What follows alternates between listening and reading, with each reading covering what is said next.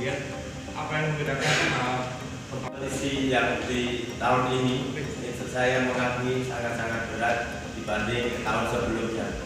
Karena uh, waktunya terlalu dekat untuk recovery semuanya. Ya jadi masa pertandingan tadi bisa saya sudah instruksikan ke pemain masalah taktiknya tapi pemain semua bisa menjalankan taktis strategi siapa meskipun pemain PSM siapa yang main perbedaan dari laga PSM pertama dan hari ini? Gimana? Perbedaan dari laga PSM yang pertama? Ya ya pasti ada. Jadi uh, sedikit aja perbedaan permainan PSIM dari laga pertama di lapangan. Besar di PSIM Jakarta telah hadir coach Retno Coach, coach, uh, coach kan punya pengalaman